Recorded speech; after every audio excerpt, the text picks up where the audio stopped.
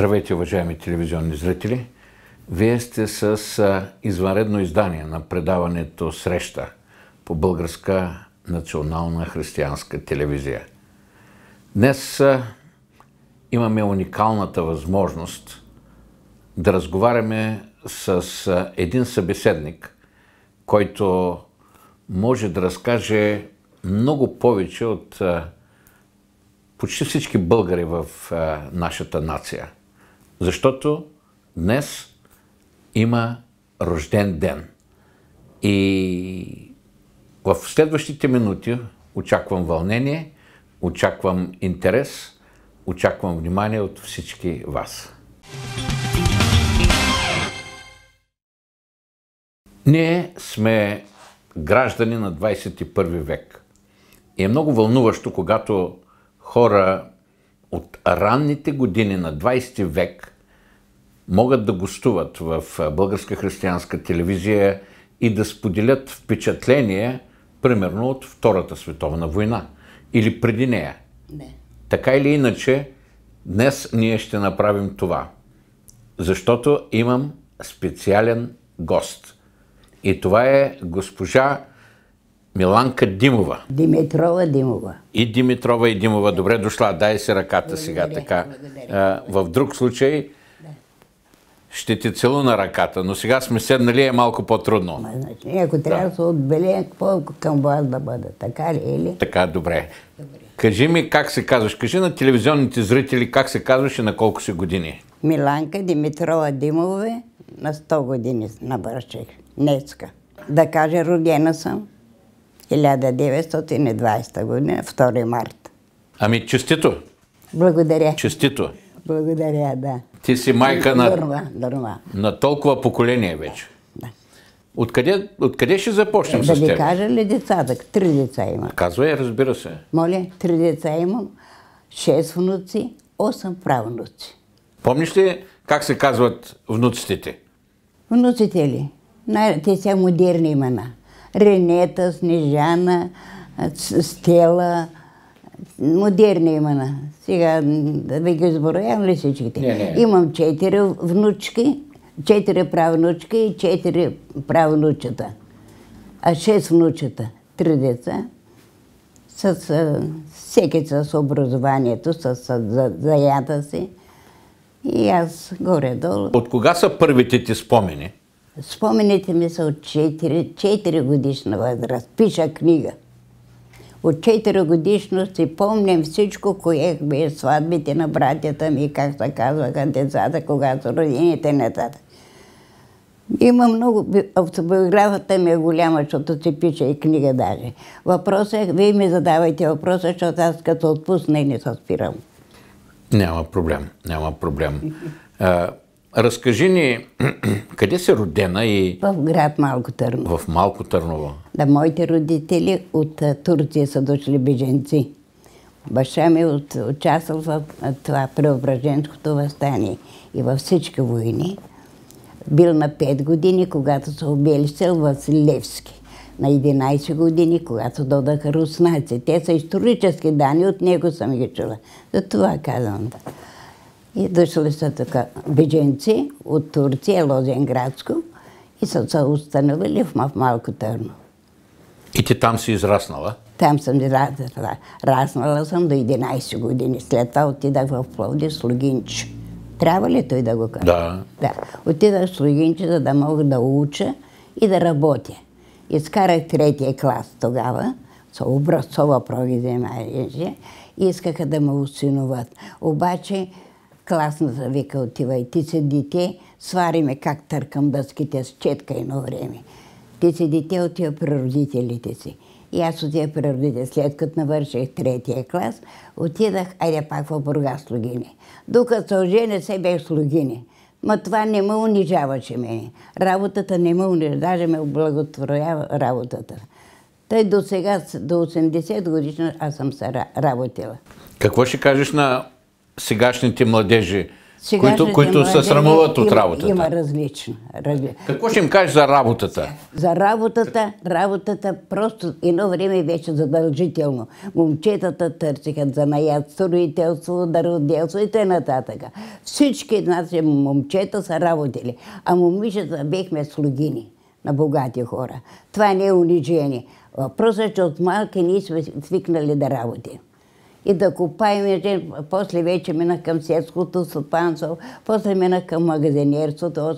Колко години работих като магазинерка.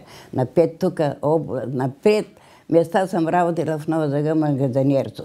Работила съм като келнерка, работила съм като плетачка, работила съм като свинарка.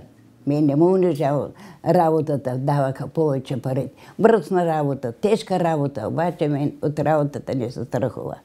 Това много ли го казах? Не, не, всичко е наред. До 80 години работала. Никакви облаги нямам от държавата. Взимам с една пенсия 200 лева. Така е. Така, че 200 Каква, лева. как, какви са твоите спомени от а, Втората световна война? Първите спомени беха, когато бех ученичка в Пловдив, видяхме цар Борис, без охрана. С каскет, с спортен облечен, с гамаши, с сако, бричове тогава се носиха. Минаха край нас, не бехме ученици, ходихме да търсим минерали там. Махна на хората. Болен човек, моят приятел, ошъде. Борис беше народен човек. Ходеше по нивите, по лозята, навсякъде седат и е, без да знае, че той е цар Борис. Беше много. Той го видях тук в Пловдив тогава. След от това охрана никаква. Една брезентова кола го чакаше, обърната към джумаята там. Кача се, помахна с ръка и замина. Това беше за мен много да видя цар Борис. И го видях, беше народенче. После много лъжи сега има за, за евреите, за това истината аз я знам. Ти помниш ли? Ти помниш ли? Разкажи ми какво, а, какво си спомняш за случая с спасяването на българските евреи? А така ще ви кажа, да. Евреите имаха значки на външните си дрехи, петолъчки жълти. Те бяха белязани, бяха много тормози. Вечер имахме вечерен час до 9 часа. Жив човек не може по улицата. И когато вече Хитлер нареди тези да идат в Освенцим и Дахау, те са два концлагера, качени беха всички на свинските вагони. Малки деца с майките, с бабите, младежи, както и да е. Мина един, как се казва, Димитров беше, той беше от висшето общество, ние ми беше нещо като депутат. Видя там край София народ, много кустава тук, евреите заминават за концлагерите. Концлагерите на смъртта, да. И той отива веднага при цар Борис. Вика, царю, ти ли нареди да, да пуснат евреи? Как ще нареда вика? Те са мой народ, вика, как може по бързата процедура всички евреи да се отиват в домовете. Той ги разпусна. А сега какво чувам аз? Това, църквата народа. Борис беше католик. Православната църква той не ходеше. В Пловдив имаше ковчега на майка му. Ходех по-често да го гледам там. Като булка облечена, парализирана, нали, там обработена. Искам да кажа, тези са моите детски спомени. Той беше народен човек. Когато го извика Хитлера да прати войска против Русия, той отказа. Те са на освободили, дума да не става. Три дена беше там, бавна отвора, още като се връщаше в, в България, припана във влака. И за три дена, на 28 август 1943 година, почина. Заведаха го в Рилския манастир, там да сутрина на гроба му празнен. И това, което запомних от, от това. Тъй искам да кажа много така, да, правителство съм била, най-страшно беше фашизма. Тогава беше най-страшно. Убиваха там кого, когото намръдат. После доде комунизъм, после демократизъм, после това, как да е, как беха сега, както главните, които са сега пък тези, които са за народа, както да е сега се запъвам, защото то не мога изведнъж всичко да, да кажа. Да, да. да. да. да. Всички, всичките управления аз съм била и, и, и се интересува, да, да се интересува. Даже баща ми разправяше, когато били там в това, в Турция, значи, как са такова? Майка ми била сводката на четниците преображенството възстание. Той бил в управата на четниците. И той казал, че вземеш малкото детенце в цедилката, ще туриш патроните отдолу, ще ни ги донесеш. И предупредя охраната. Жената ще дойде да видя детето, не било нещо добре, да не направите нещо. Отива майка ми, отдолу патроните, пачки, пачки, отгоре детето и те я пускат, завеждат и там при мъжа си нали, да се види. И през два-три дена тя носи патрони. Тя е била свод, сводката, де се каза на моя баща. Вика, ела след два-три дена пак да се видим. Ами дали ще ме пуснат? А, ами как няма то? Мъжът ти вика тук четни, как не. Те, те са подробности, които разправим. Лично от баща ми съм запомнила. Та, той е бил, даже във войните е бил участвал и Втората война, и той е участвал, та има снимките.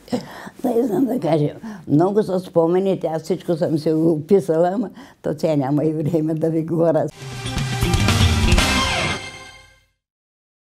Уважаеми зрители, празнуваме 100 е, годишен рожден ден на а, Миланка Димова, да. която е родена в Малко Търново, да. минала е през Пловдив и на други места. Днес ние се намираме в Нова Загора. Колко години? е? Додахме в Нова Загора 1947 година. О, ти доста години вече Много съм тук, да.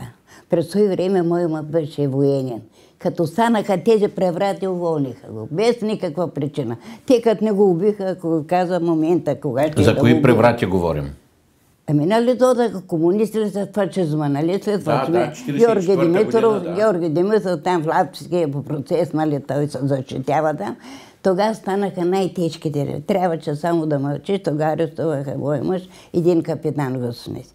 Убива, искаха да го убият, защото правиха, имаха там свини, той в, на поста и хората се оплаквали, казали на моя мъж и те им прави забележка, го арестуваха, че капитана като разбра работата как и веднага върна ги той, тогава малко се поталожи работа. Тогава с големи убийца. Пък дето има народен съд, колко народ. Видяла съм на, на прегледа, на кинопреглед Никола Бабцаров, Гео Милев когато свещеника отиваше от човек на човек да се моли, защото ги да разстрелват. И след това ги разстреля. Никола Овчар е един хубав и едър мъж. Гео Милев беше с изкуствено око по дреме. Те скоро почина дъщеря му, да, Леда Милева, ако си спомняте, да. Та те са исторически данни, но спомням си ги там, защото съм била съучастник. Не съучастник. А да ви кажа на началото, никой не го знае. В е, Полша имаше една област Освенцим. Не, не това е това. Дансинг. Хитлер я иска. Те не я дават.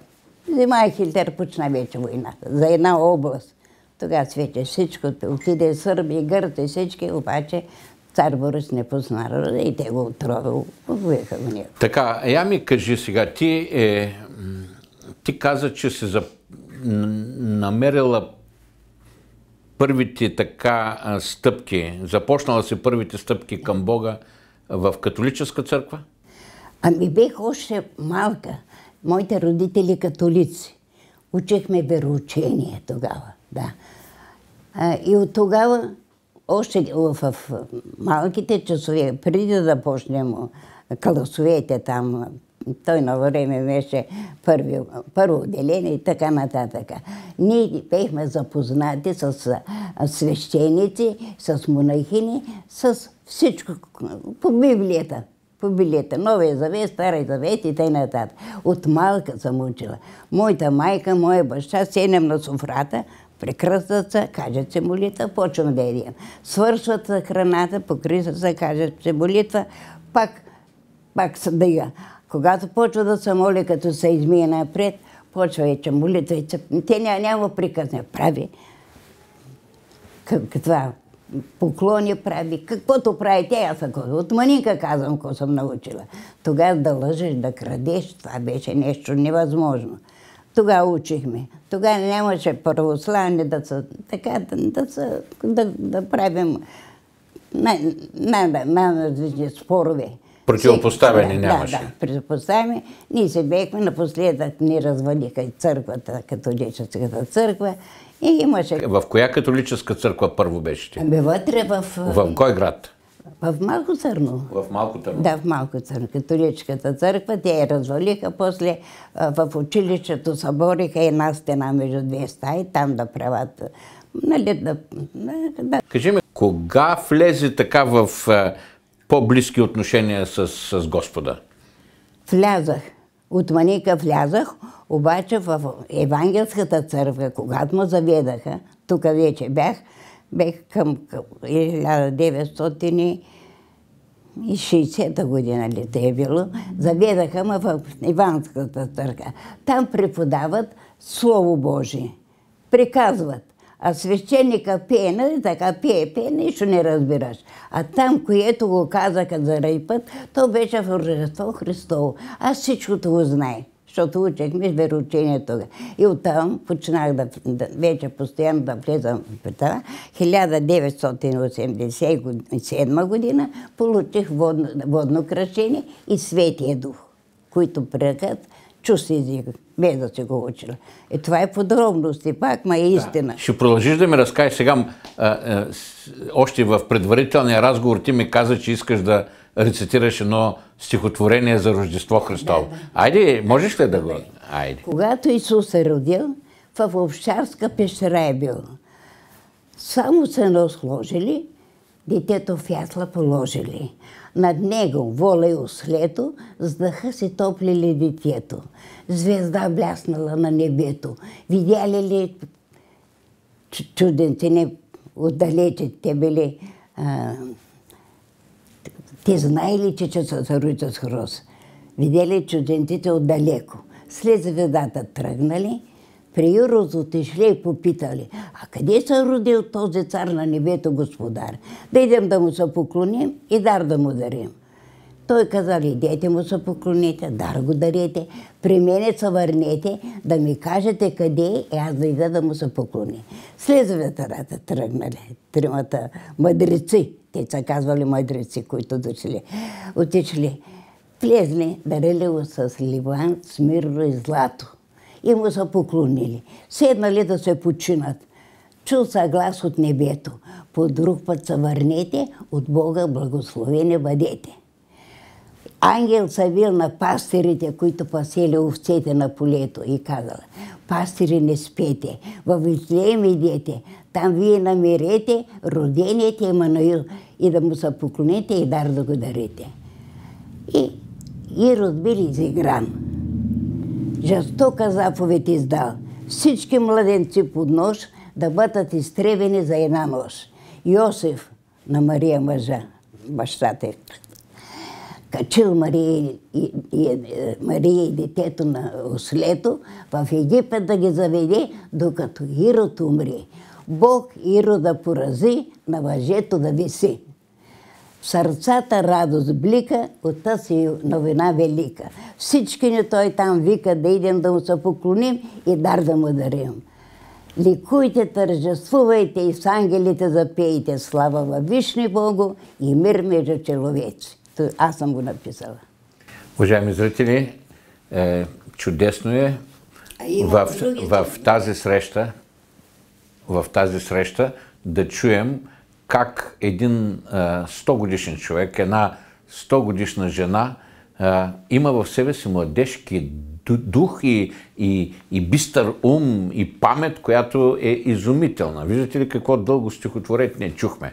Е, аз искам да продължим нашия разговор с столетницата Миланка Димова.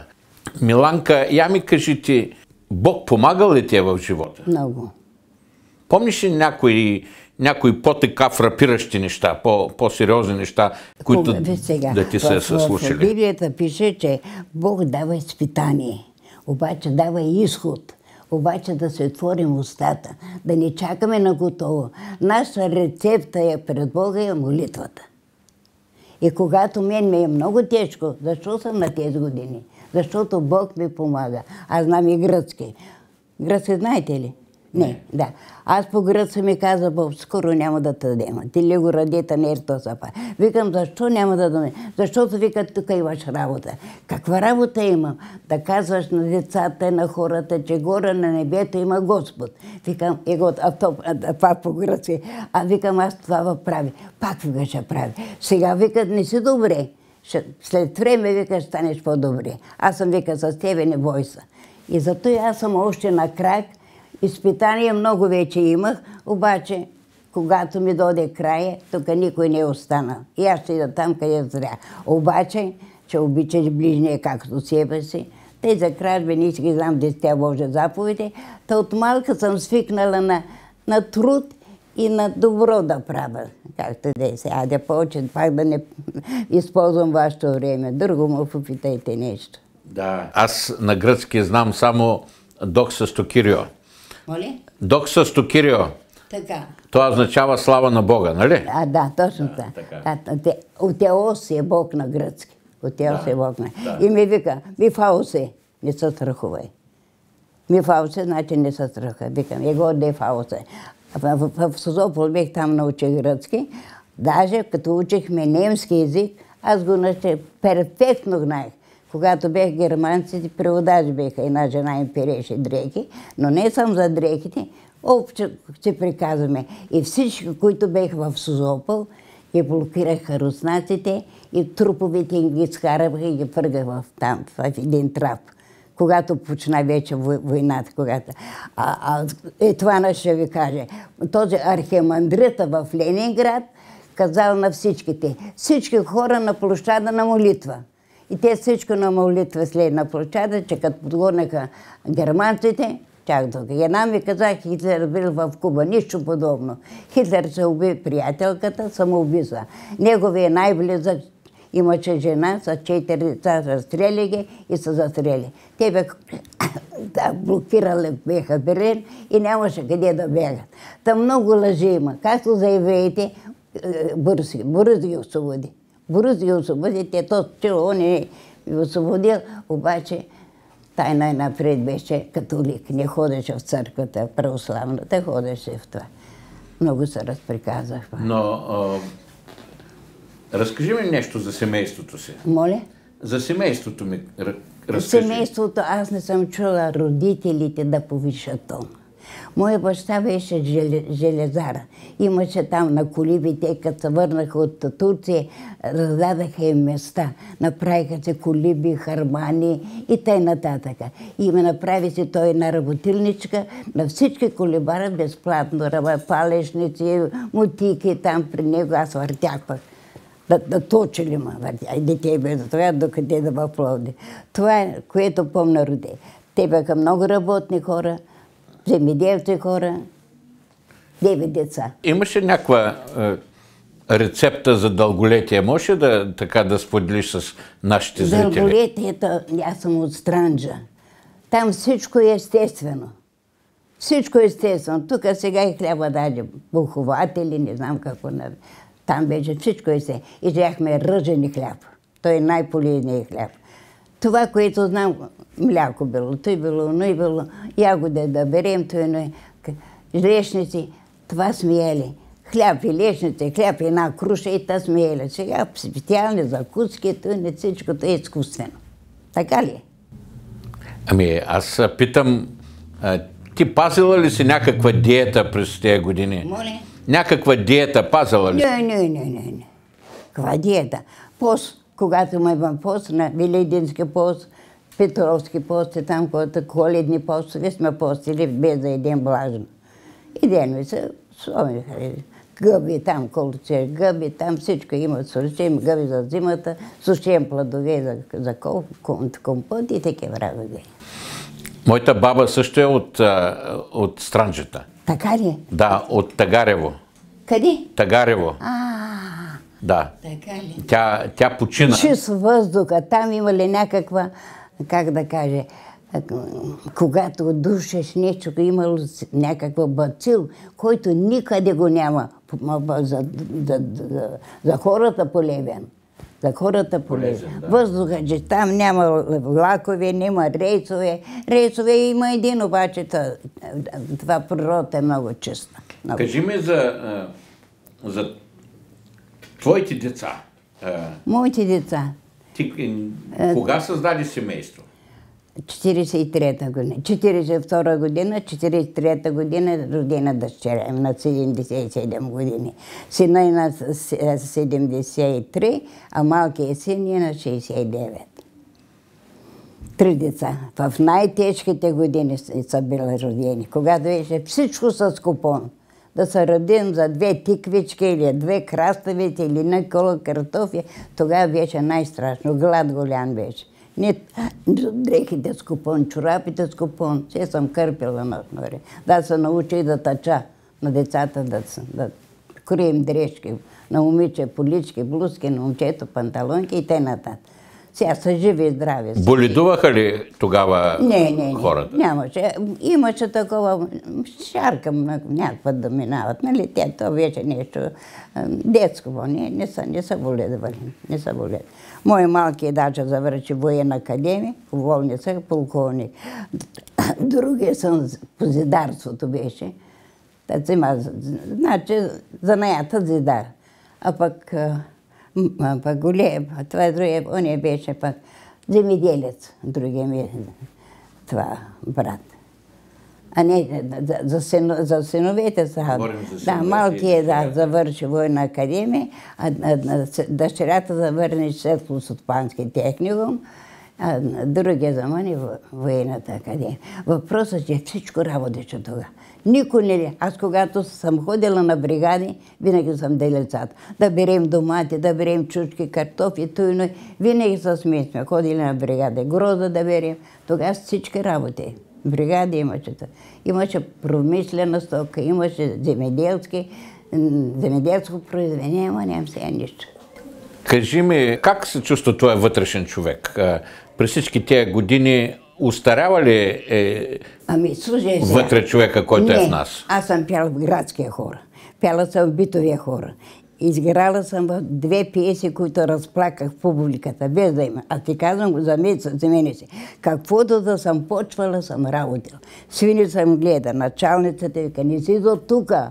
Защо не съм тук? Ама и скари вика вечерна гимназия, ще ти дадем една работа. Чо по, приказката разбира, че аз мога всяко нещо да... И касиерка съм била на фото Роял, най-голямото фото в Бургас. Касиерка бях тогава.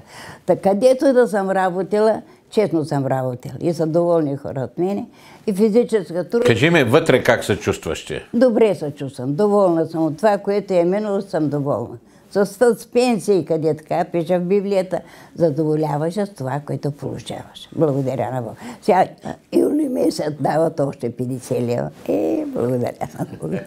Кой обичаш повече? Децата си, внуците или правнуците? Кого обичаш повече? Ма всичките ги обичам. С нощи ми се обади от, от е, Испания, внука, който за мен стана 20 години вече, аз ги изпратих даже, с нощи ми се обади да ми чести рождения ден. Той там роди две деца, с жена си е там, купи се къщи, няма да се връща. Та ходила съм в Испания две години да гледам правнучето, сега е вече 18 годишен навърши. Там земята е червена, и пезаклива. Никакъв, никакви вкус нямат нито плодовете, нито зеленчуци. А нашата държава райска, райска градина. Как изкара, как изкара рождения ден? А, Рождение ден ли? Почетаха ли те тук от, от общината? Е, Получих поздравителна така, много хубаво съдържание. Викам да ги прочетиш на хората. Уважа, уважават на хората. Е, облаги никакви. Плащам че социалните, там дето захраня, няма се каквото захрани, няма никакъв облаги. По-рано по-друго беше. Даваха на хората той не, обаче имаше всичко, сега всичко разрушено. Не, имаше заводи, имаше предприятия, имаше кооперация, имаше селско стопанство. Всичко имаше, никой не лежеше на гръб. Ти си видяла колко неща се променят около тебе. Да, да. Нали? А, Бог променял ли се през всички тези години? Как може да се промени? Бог си е един и същ, не може да се промени. Има вярващи има и невярващи. Сега, аз ще вярвам, преча ли на някого? На никого не преча. Ето Бог ме даде Светия Дух да говоря си, дето изобщо не съм го чула този. Въпросът е, че само добро да правиш. Само добро да. Аз и стихотворение пиша, много стихотворения. Аз чух стихотворението ти. А, можеш ли да, да кажеш няколко думи на, на зрителите тук? На кои на зрители? Мен, говори на мен. С какво ще ги поздравиш? Защото много хората гледат сега в момента. Ами, какво да им кажа? С, да са живи и здрави, само добро да правят. Аз една на тази моята внучка на подирата и съм казала, ще спомни се за минето време на време, че винаги доброто побеждава злото. Даже да имаш конфликт с някого, направи компромис и веднага се променят нещата. Значи на злото направи добро. Няма смисъл, като ги разправи, то сега винаги е така. Всеки са заключили, не кумчи, ведат ни нищо.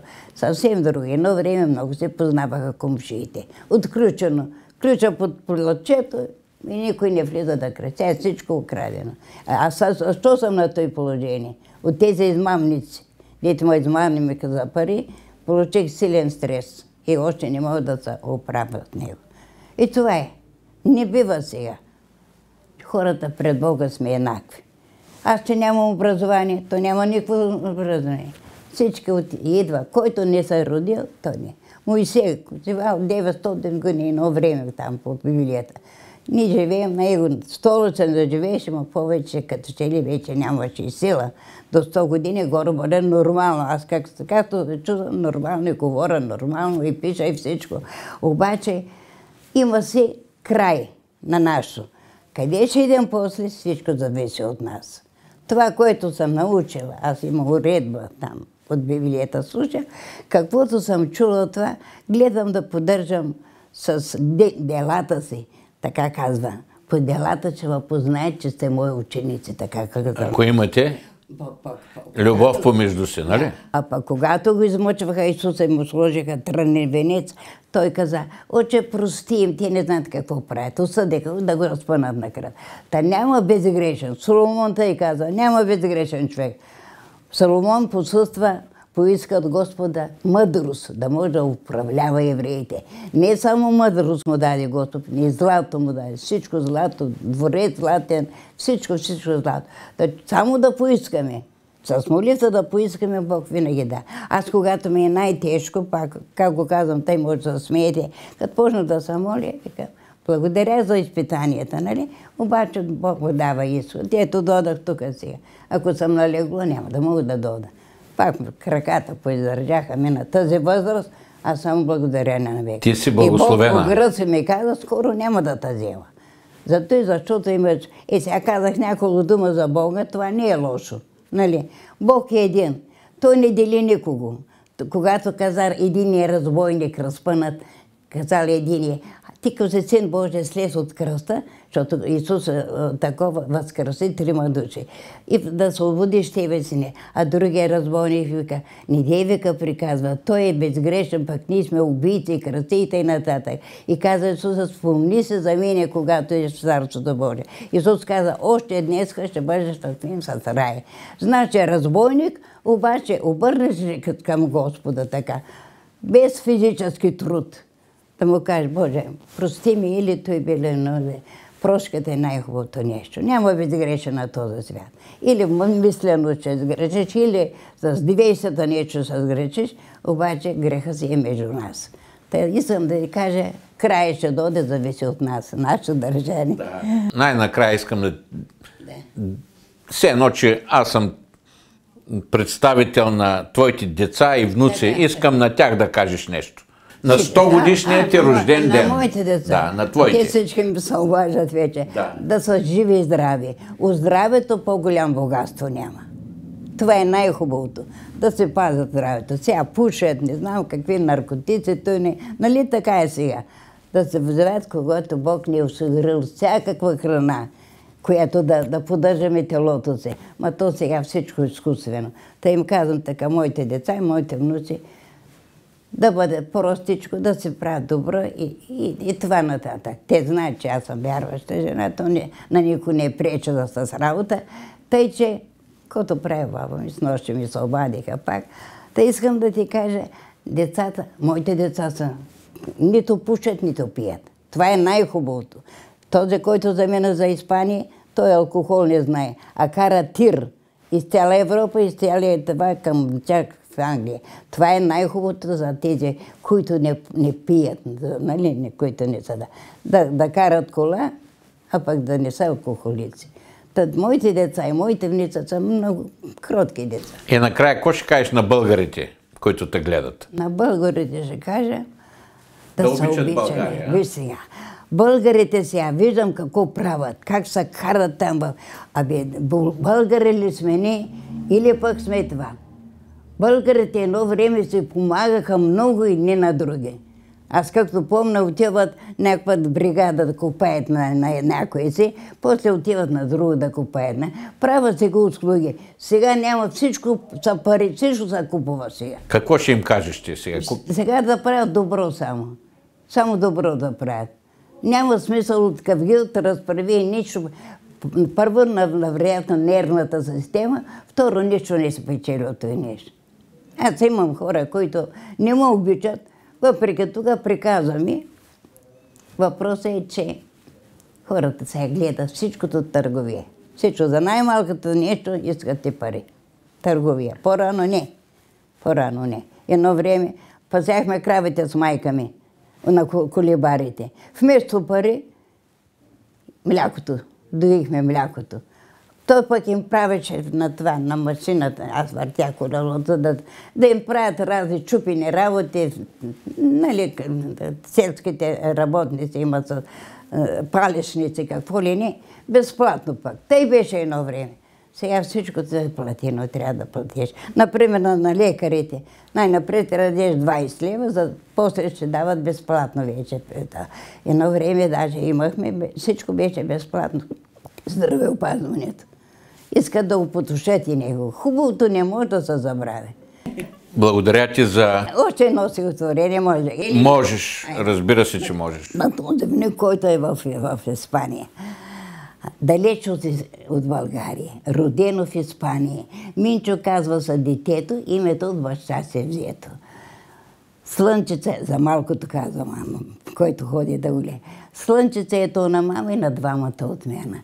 Родителите работливи, нека бъдат те щастливи. Господ здраве да им дава, винаги да им помага. Богатството е детето.